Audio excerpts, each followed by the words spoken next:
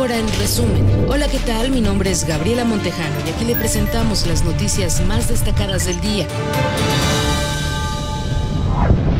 Este sábado 4 inicia la vacunación contra el COVID-19 para todos los jóvenes de 15 a 17 años en los 46 municipios del estado de Guanajuato. Son más de 342 mil dosis de Pfizer que se distribuirán este viernes a los 66 puntos de vacunación. Autoridades advirtieron que no se aplicarán vacunas a rezagados ni segundas dosis.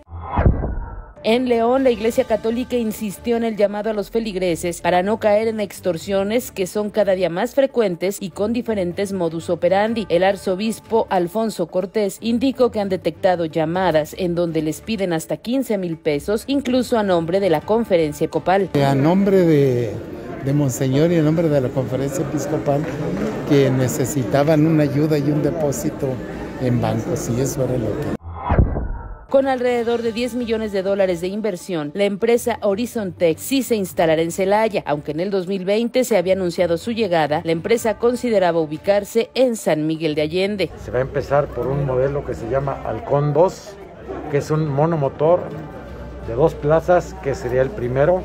Ayer se presentó ya el prototipo. Se utiliza fundamentalmente para las escuelas de aviación, para cuestiones de seguridad, para ambulancias médicas, para traslado precisamente.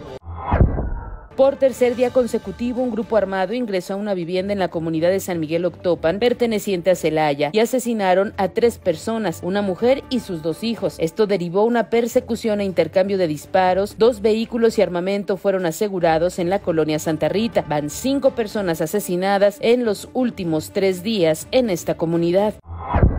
En Celaya, un joven de 21 años y su primo de 17 son buscados por sus familiares luego de que desde el martes ya no supieran nada de su paradero. Los jóvenes, habitantes de San Miguel Octopan, son Serafín y José Ramón y presuntamente fueron privados de su libertad por hombres armados en Celaya, a pesar de que a su llegada a la Secretaría de Seguridad dijo que sería abierto. Jesús Rivera Peralta huyó de los reporteros, quienes buscaban una declaración sobre los hechos violentos registrados en San Miguel Octopan. La mañana de este jueves, el funcionario acudió a un evento en la entrega de reconocimientos a estudiantes y personal de servicio social en la Casa de la Cultura. Para evitar a la prensa, huyó por el anexo del edificio. Puede estar abierto, ya ve.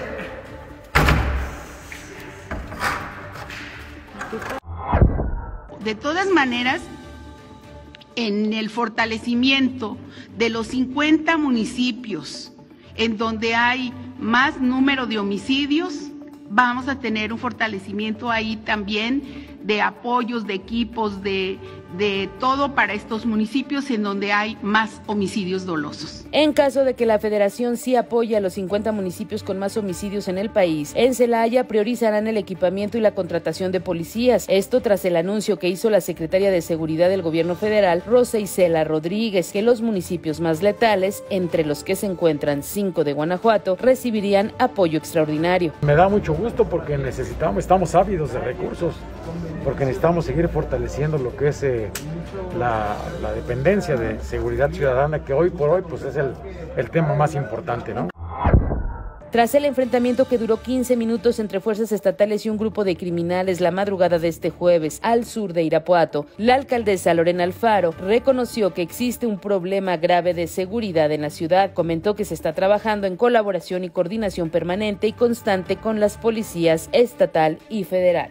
Todos los días hacemos nuestro trabajo y los resultados pues tendrán que irse dando precisamente conforme vamos avanzando en esta intervención social. Escríbenos al WhatsApp 461-188-1108 y recibe el resumen diario en podcast o en video. Mantente al tanto de nuestros contenidos en redes sociales. agoragto.com. Revolucionamos el papel y las ideas.